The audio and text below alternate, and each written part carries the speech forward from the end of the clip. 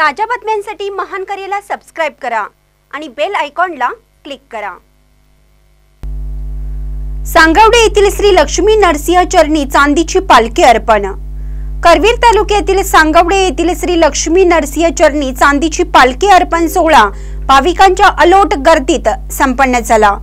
परमपूज्य आनंदनाथ महाराज सांगवडेकर यांच्या पावन सानिध्यात सरकार श्री यशराज घोरपडे यांच्या हस्ते ही चांदीची पालखी श्री नरसिंह चरणी अर्पण करण्यात आली.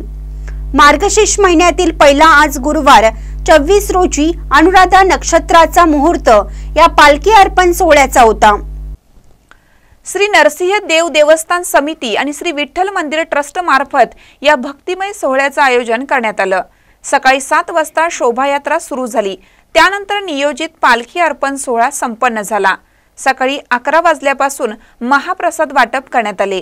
यावेळी आमदार सतेज उर्फ बंटी पाटील आमदार प्रकाश आवाडे आमदार डॉक्टर राजेंद्र पाटील येड्रावकर आमदार ऋतुराज पाटील माजी आमदार चंद्रदीप नरके हुपरीचे प्रमोद कुमार मगदुम जिल्हा परिषद सदस्य वंदना पाटील सांगवडेवाडीच्या सरपंच रुपाली कुंभार सचिन माने रोहिणी माने यांच्यासह सर्व ग्रामपंचायत सदस्य सदस्या उपस्थित होते.